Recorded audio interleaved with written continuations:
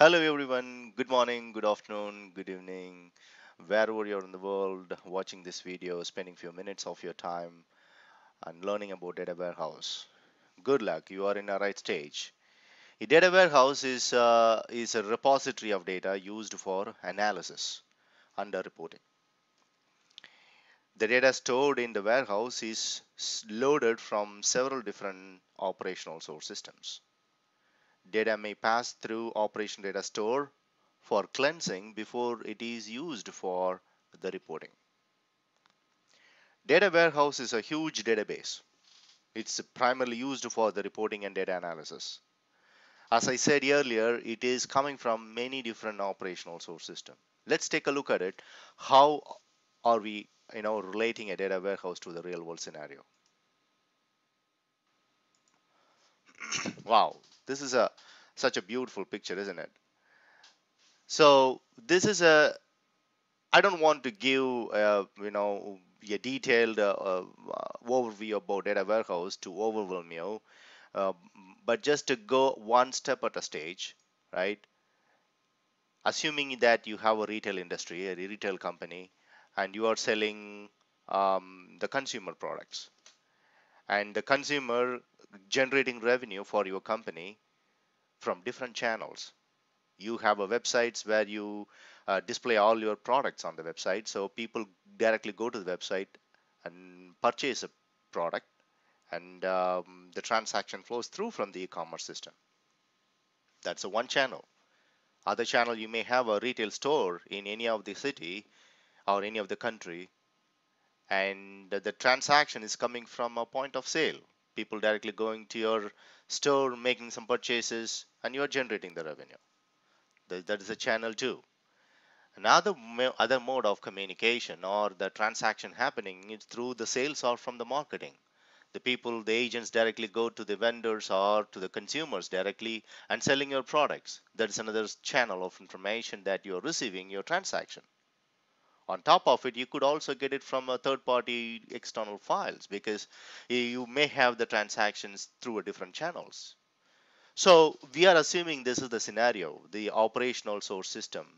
You have a sales, you have an e-commerce system, you have a point of sales and marketing and from the flat files. So this we constitute together an operational source systems. And the data residing in every source system may not be in the same format.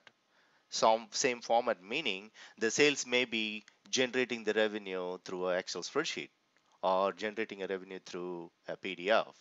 Whereas in e-commerce, it's generating records in an Oracle table or a SQL Server table or from a relational source systems. The point of sales is another format of data. It will be stored in the source system in the point of sales, which you are pulling the records. And marketing is same. It may be in a different different file uh, format. So what do you as a business owner or a, or a domain owner you want to know how how much of revenue is being generated on a given day? Without having an access to these channels like a sales e-commerce pos and marketing how can you consolidate the data from different channels and see, oh, this is the total revenue that you have received. So that's the that's the challenge of any uh, any um, company when they generate a revenue, when they generate a report for that revenue. Okay, this is the consolidated revenue for the company to generate a balance sheets or daily reporting to see the status of the company, how it progresses and everything. This is stored in every company's system. Now, we need to pull this information into a staging area. The stage one of the staging area is a non-persistent staging area. What does that mean? The data from the sales, data from the e-commerce, or from the different channels, it just replicates the records in the non-persistent staging area on that specific given day from morning 12 a.m. to 11.59 p.m. Any transaction have occurred from these channels will be loaded into the non-persistent staging area. Loaded meaning that is uh, it's under the code. What is mean loaded? I will talk about that in in our upcoming slides. And it will be loaded into the non-persistent staging area and under the uh, different cleansing mechanisms using different tools that we will be talking about that later and we'll be loaded into one level above which is a persistent staging area. The staging area constituted together is a non-persistent and persistent. From the persistent, we'll be moving into the operational data store, which is an ODS. So you, that ODS, it's a refined form of data. It is a, it is a kind of consolidated record. It may have uh, the data from the sales, e-commerce, POS, marketing, and files in one single table or in a multiple table, but it is in a readable format. It is easy simplified version of uh, the records from the different channels. Then from this is we call it as an integration area. Then the integration area under the operational data store, you have an ability to gain the records or gather the record to in into a data warehouse. So using in uh, different different ETL tools that operational data from the operational data store, which is a cleansed or a cleansed version of record, will be loaded into the data warehouse. So the uh, the highlighted area, which is as, as I talk about, is an integration area. From this integration area, how the data will be loaded into the data warehouse. Before we talk about the data from the integration area to warehouse, we need to give just give an introduction about Informatica Power Center. Informatica Power Center is an ETL tool. ETL stands for extraction, transformation, and loading. It acts as transform and integrate data from any source system in any format and deliver the data throughout the enterprise. Informatica Power Center definitions. The below objects are it's just for informational perspective because sometimes some of the some of the elements here are not relevant to data warehouse overview but it helps you when you're moving forward how you can um, master in data warehouse the, all these objects are that are found in informatica workflow manager tool session command task task worklets and workflows. On my upcoming slides or upcoming videos, you can see the details about session and other objects within Informatica. So I have a separate video, you can take a look at it.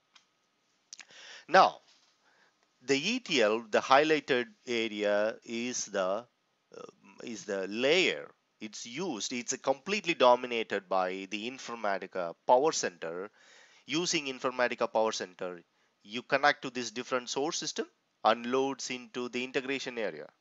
That's we call it as an ETL.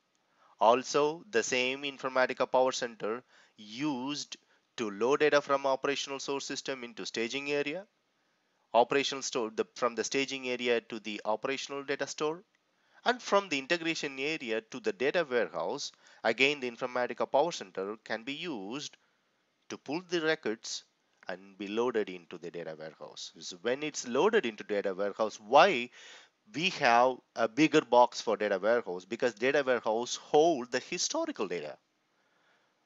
When when your manager, where when your um, uh, um, uh, business units wants to know the revenue for a given year, they when they want to compare i want to compare the revenue for the 2014 to 2013 for a given department how do I know? Without having the historical records. So that's where the data warehouse plays a vital role.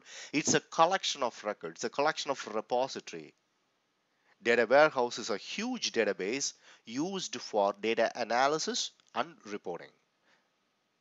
Data warehouse maintain four layers, which we talk about that. And from the data warehouse, again using in ETL, it will be uploaded into the data marts.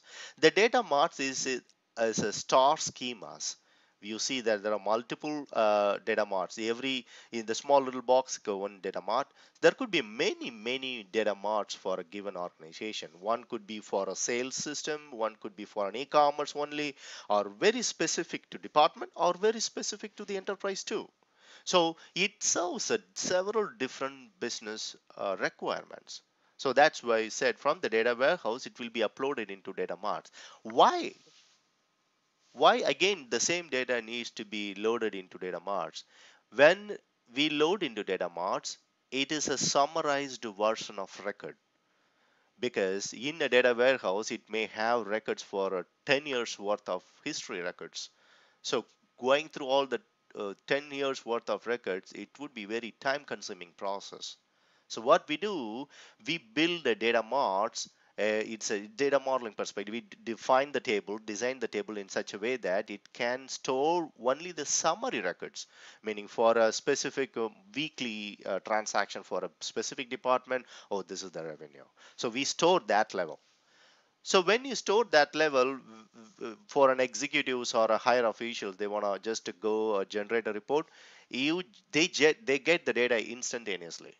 So that is the main purpose of uploading data data from data warehouse to the data marts. Also, you can generate directly to a reports like a Cognos reports or uh, cubes, different Essbase cubes or whatever that you want to use. It's completely completely the, the enterprise specific based on their licensing, based on their cost. They change their the tools.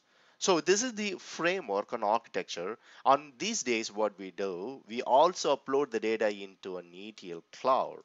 So the ETL cloud is basically um, uh, I mean, I can, uh, if it is a data mart, it should be an environment specific.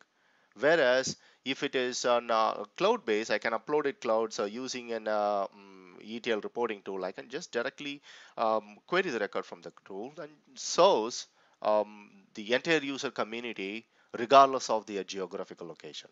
And thanks for watching this video. I really appreciate that. Come back soon for my upcoming Informatica videos. Talk to you soon. Take care. Bye. Música